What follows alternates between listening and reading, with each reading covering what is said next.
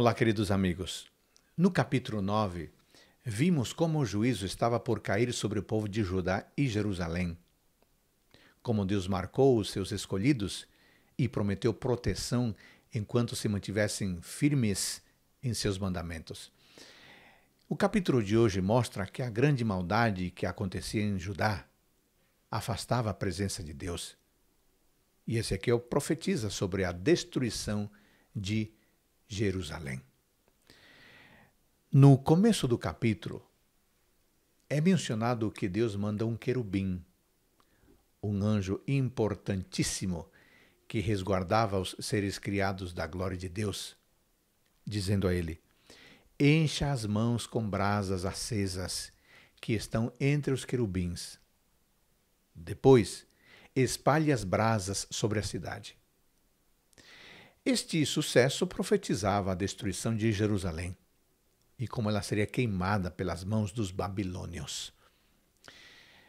Que tristeza saber que o povo, uma vez escolhido por Deus para levar luz, seria destruído e levado ao exílio.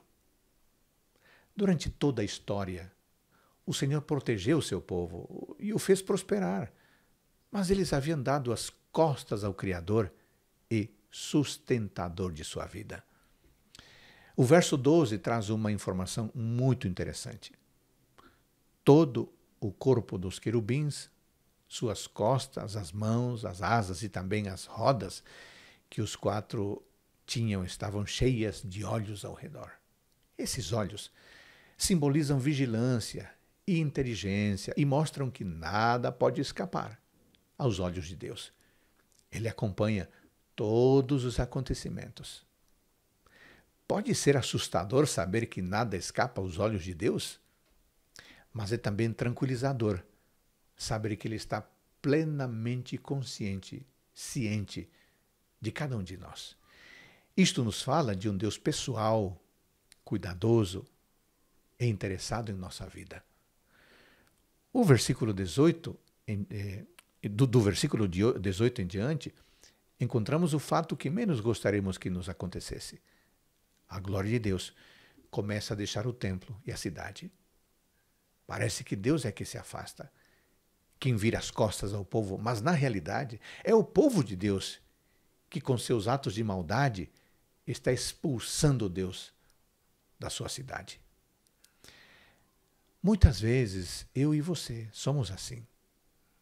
Acreditamos que é Deus que nos abandona, quando na realidade somos nós que, com nossas palavras, pensamentos e atos, estamos expulsando o Senhor da nossa mente, da nossa vida inteira.